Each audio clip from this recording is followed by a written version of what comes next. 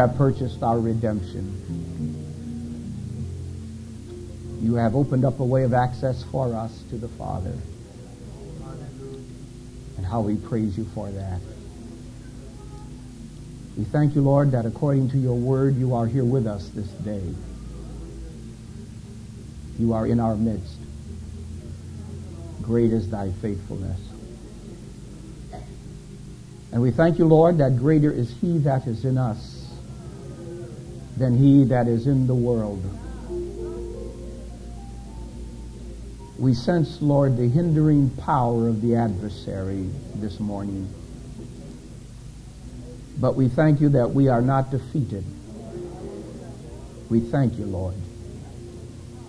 We thank you, Lord, that we are more than overcomers through him who loved us.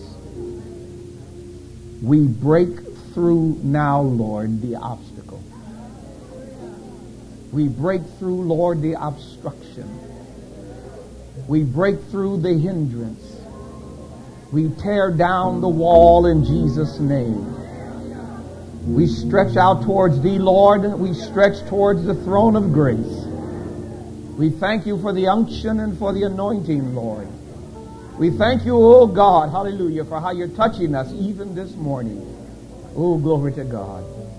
We thank you that you have defeated, Lord, the enemy. That you reign, Lord God, even now. And we reign with you.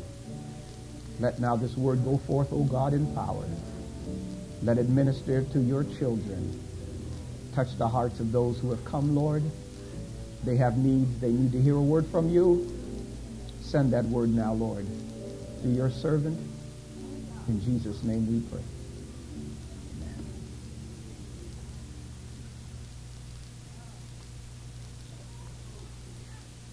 This morning I want to share with you from the book of First Corinthians, chapter number 1.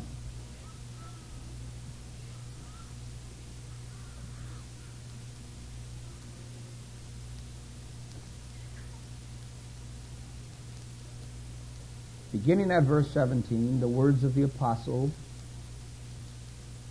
for Christ sent me not to baptize, but to preach the gospel, not with wisdom of words, lest the cross of Christ should be made of none effect.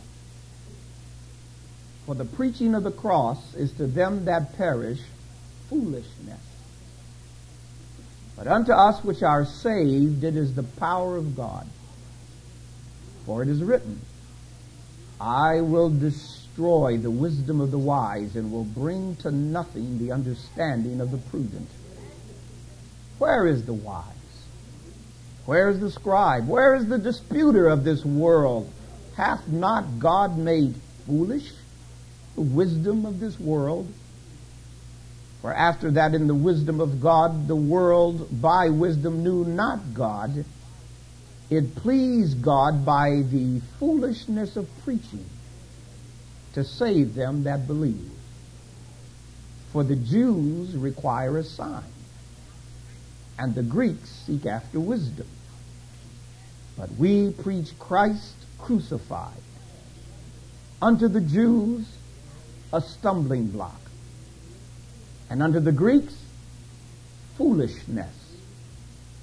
But unto them which are called, both Jews and Greeks, Christ, the power of God and the wisdom of God. The phrase that sticks in my mind this morning is this one the foolishness of preaching. The foolishness of preaching. Verse 21 For after that, in the wisdom of God, the world by wisdom knew not God it pleased God by the foolishness of preaching to save them that believe. I am employed now in what I regard as the greatest employment that a man can have on the face of the earth. And that is the preaching of the gospel of the Lord Jesus Christ. I don't know of any greater employment than a man or woman can be called to than to preach the gospel. For the gospel has in it a power that nothing else has. There is no other employment that a man can occupy himself with of which it can be said that it delivers men and delivers women and saves them. It is only the gospel that does that. How can they hear without a preacher? And so I'm employed in proclaiming the word that releases men and releases women from the captivity in which they were born.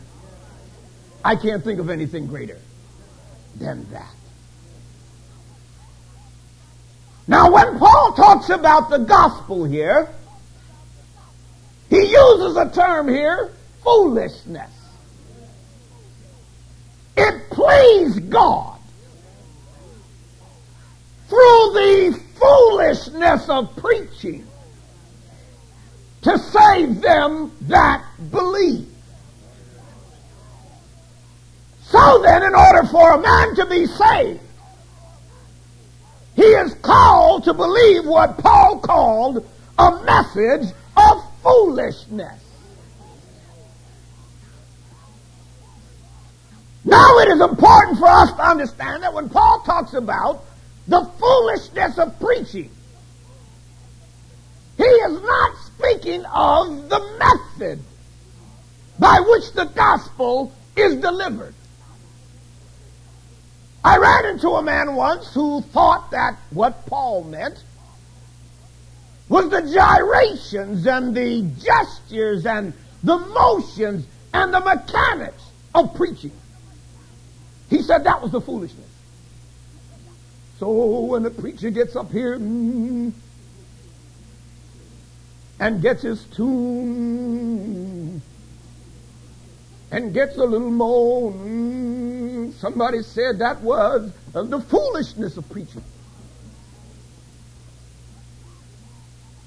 But God called some of us to preach who couldn't moan if we wanted to.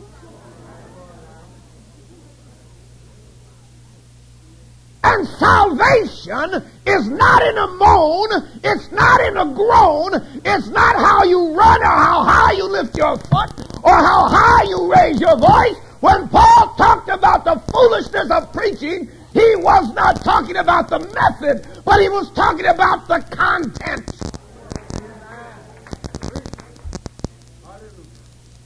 It is the content of the gospel that Paul calls foolishness according to this world's standards. But it has pleased God.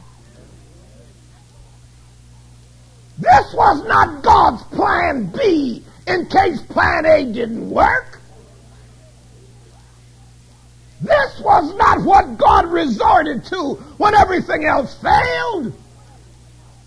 It pleased God from the very beginning that through the foolishness of preaching, men who believed in the foolishness might be saved. Thank God for the foolishness. Paul does not leave us in any doubt as to what constitutes the foolishness of the gospel. Notice in verse 23 we preach Christ crucified.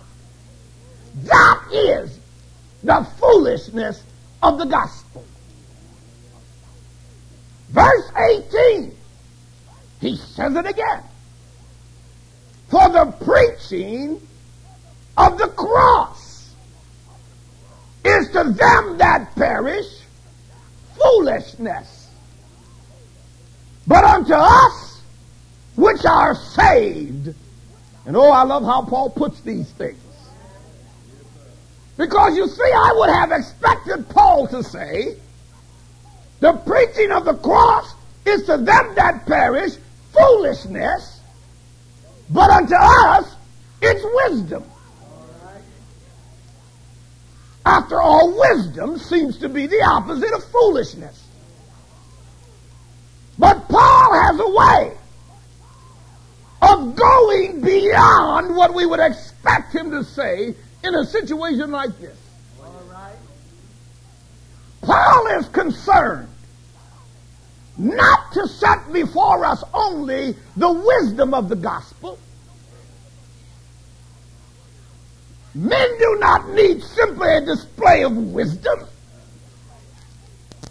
The man that comes to our church strung out on drugs, drugs has wasted his life. Drugs have destroyed his family. Drugs have destroyed his home and his hope. He needs something more than wisdom. He needs to hear something that promises him some power.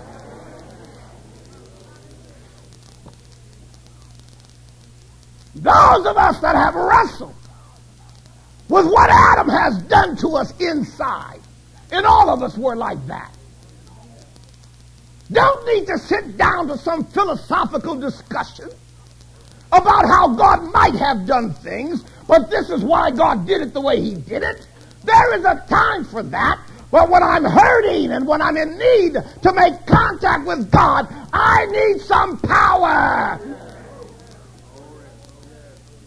And Paul says in this 18th verse, there are two classes of people. And everyone in this room today finds himself in one of these two classes. There are no others. There are those that perish and those that are saved. That's it. Go wherever you want to go on the whole face of the earth, and you will find but two categories of people those that perish and those that are saved. Now I need to share with you what it really says in the original. Those that are perishing and those that are being saved. So people are divided into two classes based on the process that is taking place in their lives at this present moment. Two processes. Perishing is a process. Nothing rots momentarily. It takes a while for a thing to rot. It takes a while for things to decay. Rotting is a process. So Paul says that one category of people are those that are perishing. They are rotting. They are in the process of being destroyed. Then he says there is another class of people. Those that are being saved. We don't use that terminology very often. Somebody says, Are you saved? And it's either yes or no. But it is more accurate to say that I am in the process. Someone has begun a good work in me, so I can say yes to that. But the work that is begun in me is not yet finished. So when you ask me if I am saved, it depends on what you really mean by that. Because I can say yes, or I can say no, or I can say I'm in the process and be accurate in all three of those things.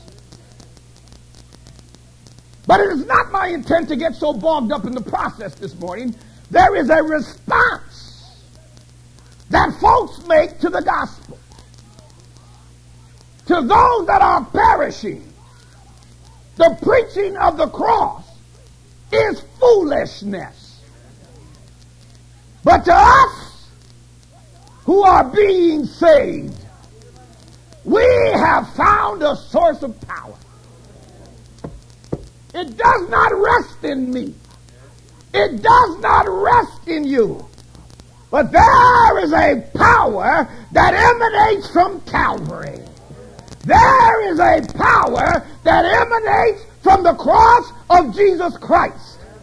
And if I take my eyes off of my ability and my value and my worth and my knowledge and my strength and look away to Calvary, I will find a power that cannot be found anywhere else. And it is that power that emanates from the cross of Christ that saves men. And when I reject the power of Calvary, when I reject what God has done for us from the cross, I get caught up in this process of destruction.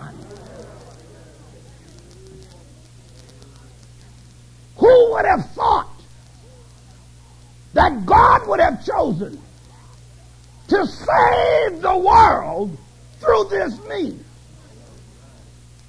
The world looks at it and they say, no way. Now, as we move further down in the chapter, you notice that Paul talked again about two classes. There was the Jew and there was the Greek. Look at the Jew first. The Jew knew about Messiah. He had read of Messiah in his Old Testament scripture. But the problem with the Jew was that although he knew of Messiah and that Messiah would someday come, the Jew had some preconceptions about what Messiah would be like and what Messiah would do when he got here. They looked for a Messiah that would rule on this earth in power and glory. They looked for a Messiah that would assert his authority and take charge, that would defeat the Roman government, put down all of Israel's enemies, and raise up a kingdom on this earth. That's what they look for. And when this carpenter's son came, humble and lowly, they said this could not be. And even as the disciples walked with Jesus and talked with Jesus, I believe that in their hearts there was this question when's he going to do it? When's he going to do it? When's he going to do it? Lord, when are you going to stand up and assert yourself? Oh, people are still pushing us leaders today to do that. Stand up and assert yourself. Don't let folks walk over you. Wield the big stick. Come down on the folk. Stand up and assert yourself. But that was the Jews' problem. They were looking for signs. They were looking for evidence. You will remember even when our Lord rose from the dead, before his ascension, Lord, is this going to be the time? You're going to do it now? You're going to do it? We've seen you humble. We've seen you lowly. We've seen you escaping from crowds.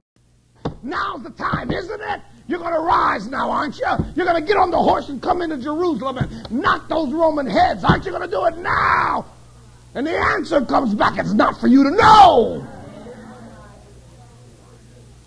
The times and the seasons that the Father hath put in his own power. But you shall receive power. After that, the Holy Ghost has come on you, and you shall be witnesses. Don't worry about my kingdom. Don't worry about my rule. I got a job to do, and you're going to be witnesses, and you're going to need my power to do it. You're caught up in the sign thing. There was a man that rose in the days of Paul who promised that he would be able to part the Jordan. And a few thousand crazy Jews went after him.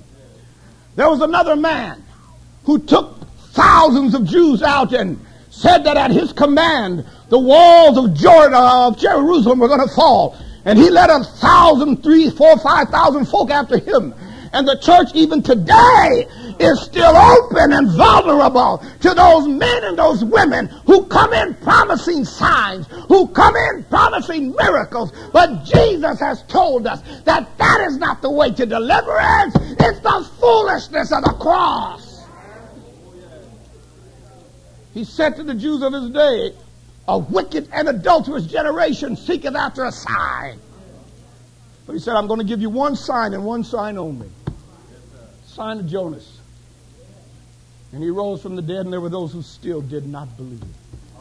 I want to say to the church this morning that although we have taken advantage of Calvary, we've been buried in the name of Jesus, we've been filled with the Holy Spirit, there is that Jewish spirit that still tends to grip some of us. We still want to see signs. And except we see signs and wonders, we will not believe. Somewhere in my Christian experience, I have to understand that God has spoken once and for all at Calvary. That God has opened the way for everything I need done in me and through me to be done. It's through the foolishness of preaching. It's through a Christ crucified. Are you saying there should be no signs and there should be no miracles? I'm not saying that. But I'm saying that those should follow them that believe. Those are only the tools through which we do our work. I don't want to be caught up in signs and wonders and miracles where they become the focus and I lose focus on Him who works the signs and the wonders and the miracles. This is not miracle temple. It is Christ's temple.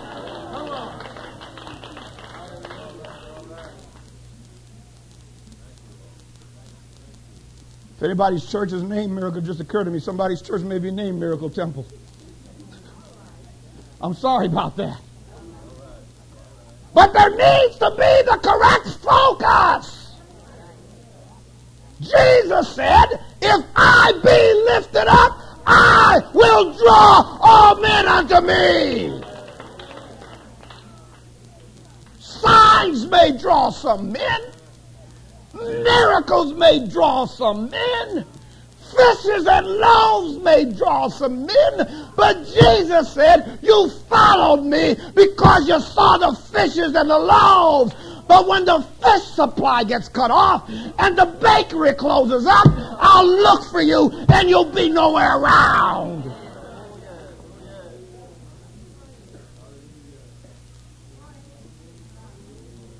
I must be able to follow him when there are no fish, there are no loaves, and my spirit can still say, It is well. It is well. What makes it well? That Jesus has died on Calvary's cross and opened there a fountain for sin and for cleansing. And the indwelling Christ gives me a power in order to be delivered from everything that holds me captive. It is well with my soul. Though hungry, though naked, though wounded, it is well.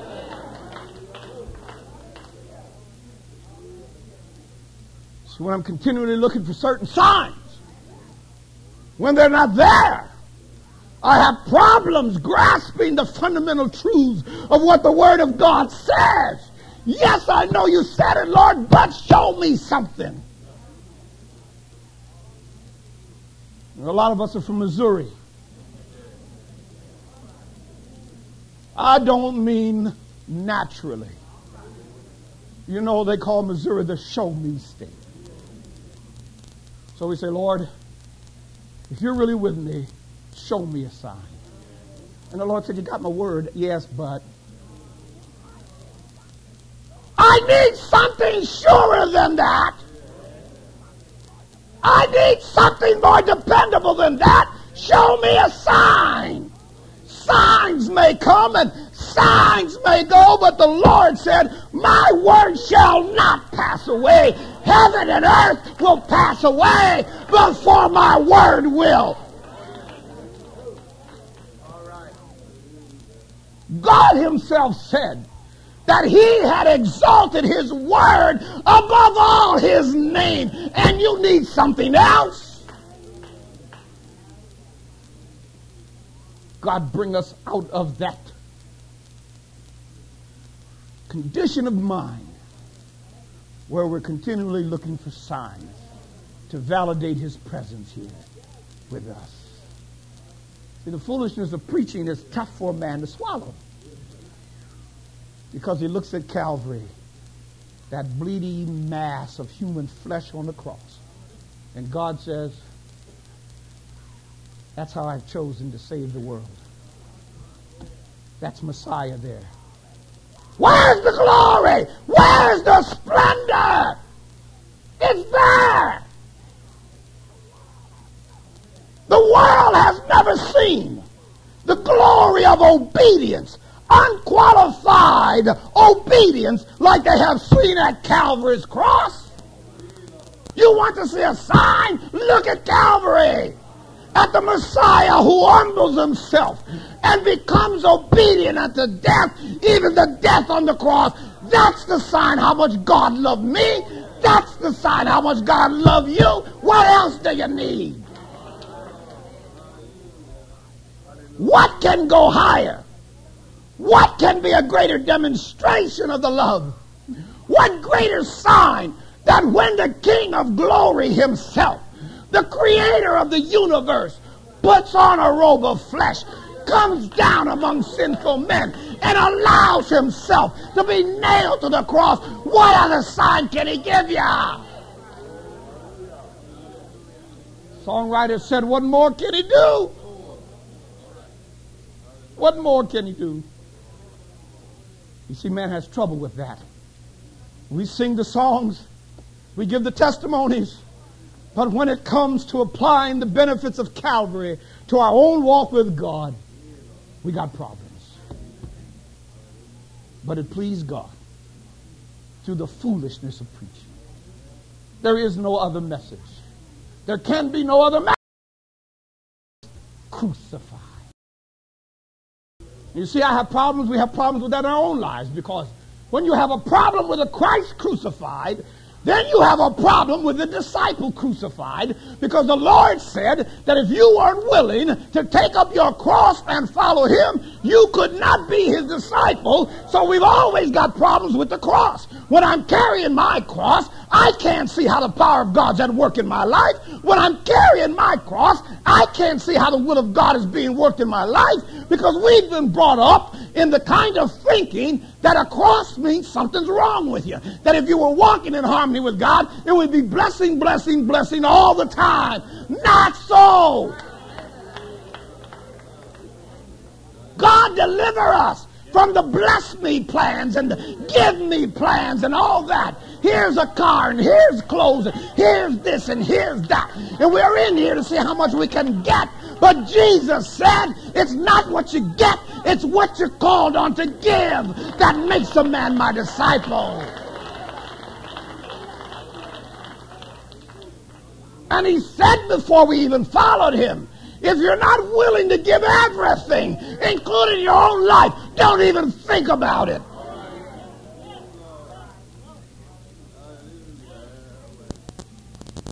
We want to ask him the question that Peter asked him Lord, we've left all to follow you. What soul we have, therefore? How about pain? How about sorrow? How about an oven, a fiery furnace? How about afflictions? How about tribulations? How about being misunderstood? How about tears? This is what he promises you now who will follow. Foolishness, the stumbling block to the Jew. And I say to you today that the kinds of things that we as children of God go through become stumbling blocks to us as well. Honey, you must have done something wrong. Because surely nobody would be suffering like you are if you hadn't done something wrong. Honey, have you talked to the pastor? Don't you know that the Bible says that if I regard iniquity in my heart, the Lord will not hear me? Don't you know, honey, that the Bible says that he that covereth his sin shall not prosper. But don't you know that the Bible says that he that will live godly shall suffer persecution? Says that too in the same Bible. So, Lord, deliver me from this mentality that gauges my relationship with God, that gauges my spirituality by all the good things that happen to me. God bring us into that atmosphere that the blessings can go up the praises can go up whether the blessings come down or not. In fact, to be in a state of mind where I want blessings to go up, where my soul delights in praises going up. That's a blessing in itself. Lord, you don't ever have to send a blessing down. There's something in my spirit that longs to praise you.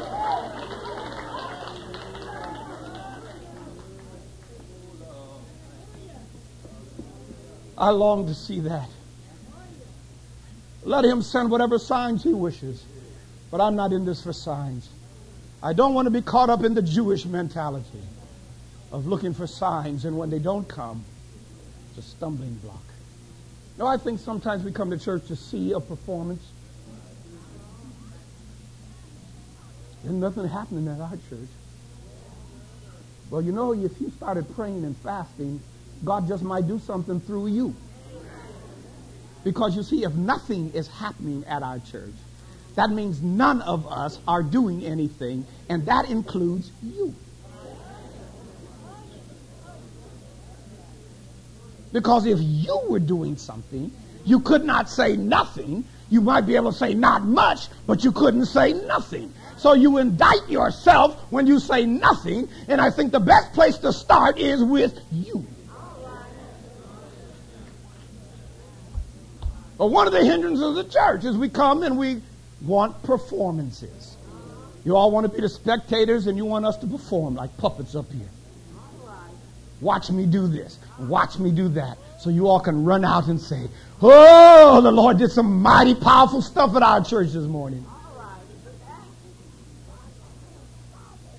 God wants to do some powerful stuff, but sometimes the powerful stuff he wants to do is not in front of everybody, but down in the basement where only one or two know what's going on. Out in the parking lot where not everybody can see it. We want to be seen.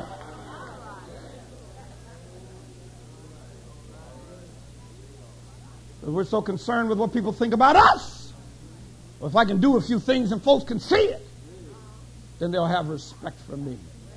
They didn't have respect for Jesus.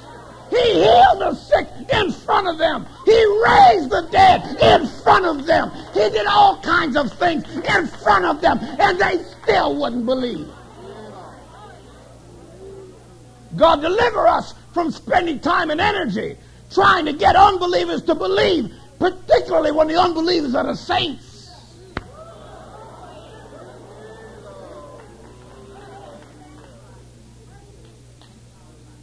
But the Lord says, I got one message and one basic message only. Call it foolishness if you will. Call it a stumbling block if you will. It's Christ crucified. Christ crucified. Christ crucified in what appeared to be weakness. That's the message. And it pleased God to save men through a crucified Christ. Well, now Paul says we got the Greeks. They got a problem with it because they were always looking for something heavy, something scholarly, something profound. And sometimes that spirit of profundity grips us ministers. And instead of preaching the simple gospel that transforms lives and delivers men and women out of bondage, we want to sound heavy. We want to sound profound. We want to sound deep. But Jesus was the heaviest man I know. Jesus was the profoundest, deepest man I know. And when he came on the scene, he talked about birds and he talked about seed and he talked about dirt. He didn't get wrapped up in the Greek philosophers and the scholars. He was trying to save folks. So then you see what I have to decide is whether I'm concerned about saving folks or impressing folks. You want to impress folks, get heavy and deep and profound. But when you want to save folks, there is a gospel. The world calls it foolishness. They looked at the cross, and the Greeks said, How in the world could God save man through a man who could not even save himself? You heard what they said. He saved others. Himself cannot say. But oh, if they had only known that while those words were coming forth out of his mouth, he was at that moment in the process of completing a redemption that would be available for all mankind, a redemption that would even save those who mocked and scorned him. And so the Greek thinking comes into, well, we don't want to hear them. Elder so and so is preaching. Is he deep? Is he in the revelation? One of our preachers, I'm told, said once, somebody asked him once, say, Elder, why don't you ever preach and teach from the charts? You don't ever preach and teach from the charts. Why don't? And he said, because what y'all is doing ain't on them charts.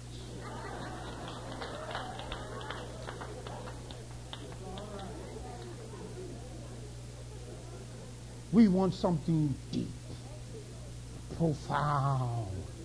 And we walk out and we don't know what was said. All we know is deep, deep.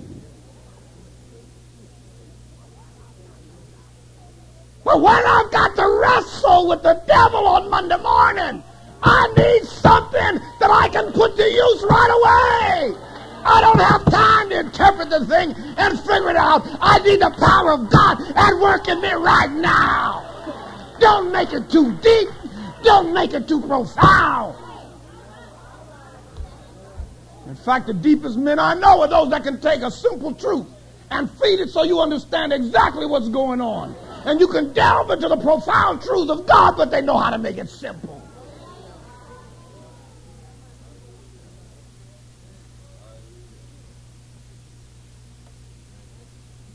So we need a speaker. Who we going to get? We need somebody eloquent.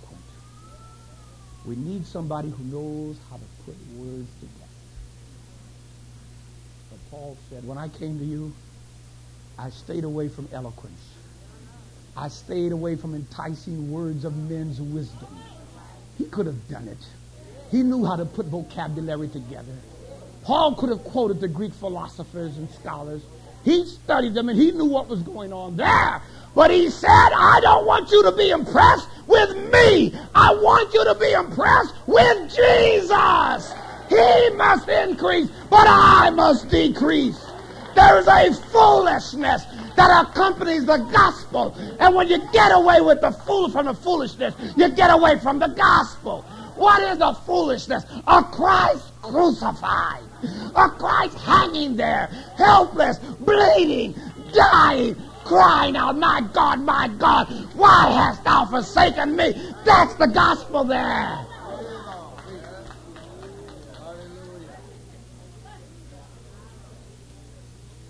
And somehow I long to find that key that I can proclaim to addicts and those that are entrapped in sin. I don't need to refer them to some social program. I don't need to give them a 12 step program to follow. I don't need, you know, the, the social agencies of this world have said once an addict and always an addict. Once this and always this. But my Lord Jesus stood in the fourth chapter of the Gospel of St. Luke and said, The Spirit of the Lord God is upon me, because the Lord hath anointed me to preach the gospel unto the poor. He has sent me to heal the brokenhearted, not patch them, heal them. The opening of eyes of those that are blind. Not cloudy vision, but clear vision. Those that are lame, those that are dragging their feet will walk, will leap. That's what he said the gospel does. But before he stopped, he said the opening of the prison to the captives. Here is a man that is captive. The gospel doesn't tell you to get used to your captivity. The gospel doesn't come in and put wallpaper and pictures in your cell. Jesus has a key to every captivity. There is no prison that Jesus can't open. And when Jesus opens your prison, you can say, I once was lost but now I'm found. I once was blind, but now I see. I once was an addict, but I'm free. I'm free. I'm free.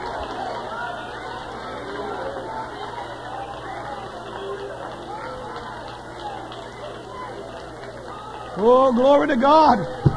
Hallelujah. Hallelujah.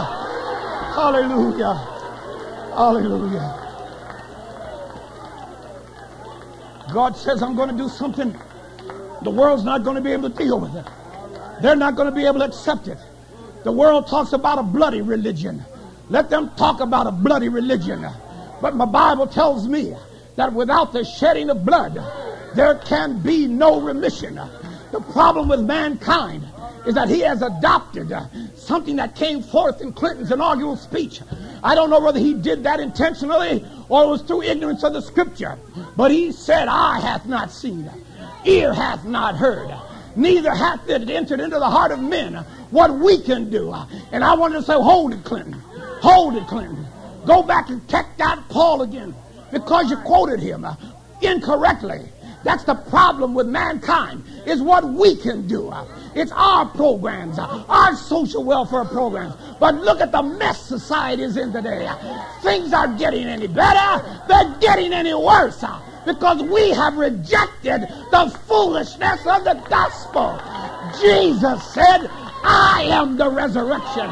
Jesus said, I am the life. He that believeth in me, though he were dead, yet shall he live.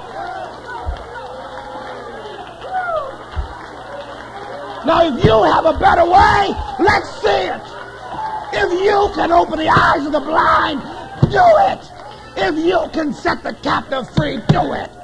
But Paul says that God said it pleased him. That's the way he wanted to do it. In fact, so sure was he that this would work that the Lamb was slain before the foundation of the world.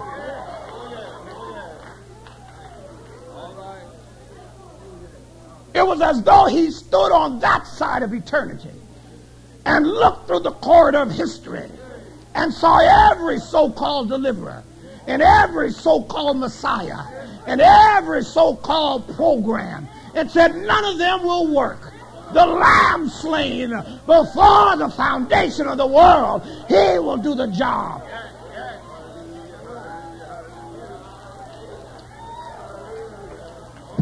So Paul said, We're not here to impress you, we're here to get you delivered. I'm tired of that spirit that hovers around us preachers that wants to impress folks. And folks walk out of church impressed but still imprisoned.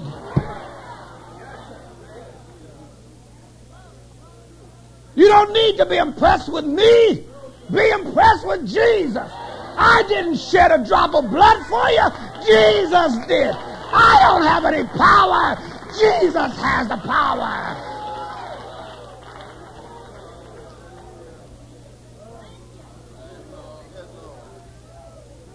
I can't make it any simpler or any harder than the word says.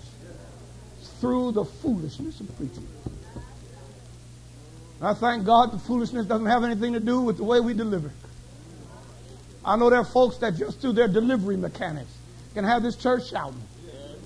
Y'all be hollering so much you wouldn't even know what he's saying. There's all kinds of stories that circulate about what unscrupulous preachers can do. There's a story that said I can get them shouting. You went in and didn't say nothing. Coon, coon. Folks all shouting.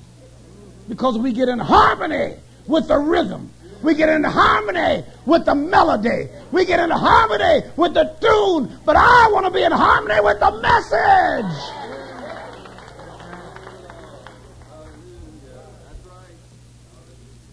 When you get in harmony with the man can stand here just about like I'm standing here now and share precious truths with you from the Word of God and touch something deep down in your spirit without raising his voice, without going through any emotional gymnastics and gyration. He delivers that Word of God in power and unction. And somehow that Word of God comes from the throne of glory and penetrates down into the innermost recesses of my being and touches me where I need healing, touches me where I need restoring. And the basis on which he does that is certainly not my faithfulness, it's not my righteousness, but it's based on what he has done at Calvary. Oh, Calvary, Calvary, Calvary. Calvary! See what he has done for us at Calvary! The Greeks didn't like it. The Jews didn't like it, but unto us who believe, it is not just God's wisdom, but it is God's power. There is a power in Calvary that sets captives free. There is a power that opens eyes, heals the lame. There's a power that's there. Glory to God. No wonder Paul said, necessity is on me. Yea, woe be unto me if I preach not the gospel of Jesus Christ. The foolishness of preaching. It has pleased God by preaching of Christ crucified to save them which believe. Let me show you how this works, too. Here's Philip out in the desert. And here's an Ethiopian eunuch sitting in a chair.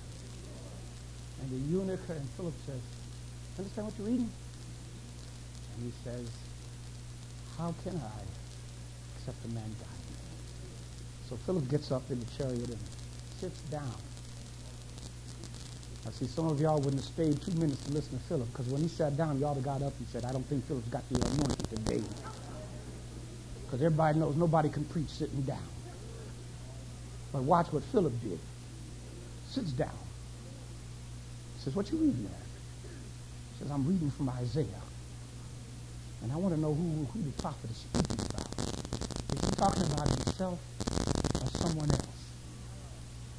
And the Bible says that Philip began at the same place and opened his mouth and preached unto him Jesus. Now, had that been some of us, we'd have said, no, wait a minute, wait a minute, somebody get a lectern. Let me get out this, out this chariot. Now, somebody get my preaching gown. I can't preach without my preaching gown on. And somebody go get Brother Hardy and tell him to get an organ out here because the Lord knows I can't preach without an organ.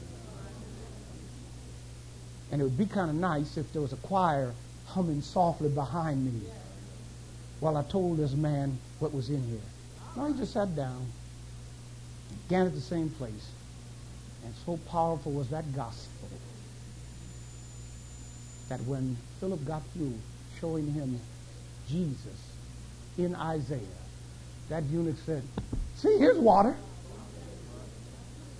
What hinders me to be baptized? And Philip said, Hold it, wait a minute now. I'm not in this for numbers. I don't have to go back to the council and tell them how many I baptized. There is one hindrance. It's not how much you shouted. It's, it's do you believe? Because if you don't believe, we'll tell the chariot driver, drive on. But the man said, I believe. Stop the chariot. And he took him down and baptized him. And All he did was just share the gospel with that man.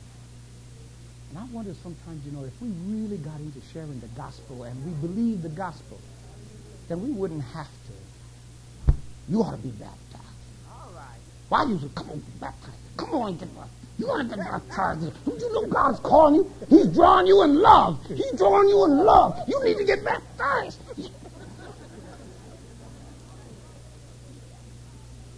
And I believe a lot of folks have said yes, not out of belief, but out of self-defense. They say, if I don't get baptized, this man's going to kill me. So I'll get baptized and get out of here. And once I go, Lord, if you spare me, I'll never be back in this place again. I may get baptized, I may get the Holy Ghost, but not here. I'm out of here. But there's a power in the gospel. There's a power in the gospel that when it is preached and spoken with the unction of God, it does something to an individual. And that's the means by which God has chosen to save you. If you're here this morning, I'm going to give the invitation now. I want to know if you believe that gospel. You see, because some of you are saying to yourself, well, Brother Johnson, I know I need to come, but I need to pray more. You haven't heard the gospel. I, I need to think about this more. You haven't heard the gospel. I need to go to church more and read my Bible more. You haven't heard the gospel.